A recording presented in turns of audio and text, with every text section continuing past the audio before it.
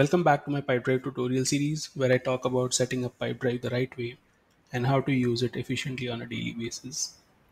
In the last video, we saw how to create custom fields inside Pipedrive under deal and person records. One of the fields that we created was for WhatsApp links under the person record. In this video, we are going to learn how to create clickable WhatsApp links for person records in my Pipedrive account. Let's jump right into it. Currently, I am in the person detail view of my own record. Here, I'm going to create a clickable WhatsApp link for myself manually. So the format for creating clickable WhatsApp links is wa.me slash my number without any special characters and with the country code.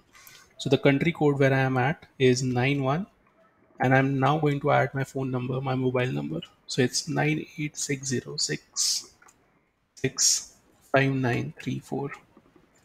Now this is a clickable WhatsApp link. Whenever I click this link for any person record in my Pipedrive account, it will directly open a chat window with them in either Pipedrive desktop or if I'm using the Pipedrive phone app, it will open the, a chat window with the person on my Pipedrive phone app.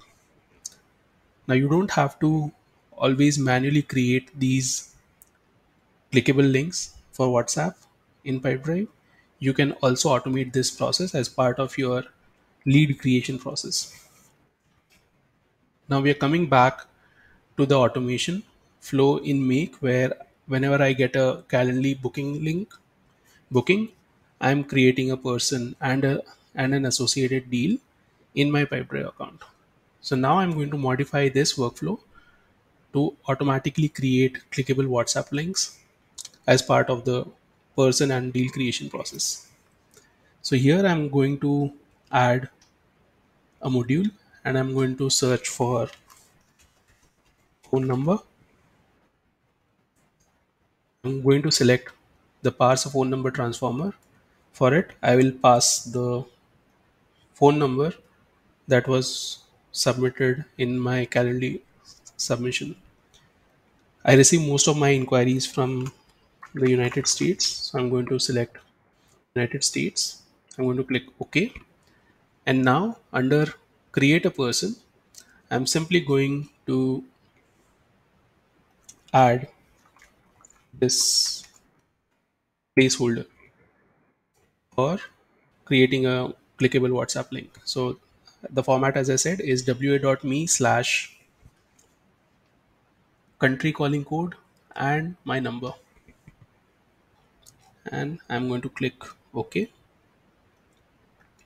after I drag this to the left. Okay, and this should now create, this workflow should now create a person and also create a clickable WhatsApp link for that person automatically as part of the person and deal creation process. I hope you enjoyed watching this video. If you have any feedback or if you have any questions, please leave them in the comments. If there are any topics that you would like me to cover as part of this video series, do let me know by commenting on this video below or contacting me via my website. All these links and resources are going to be mentioned in the video description. Thank you so much for watching. I will see, you in the next video. Bye bye.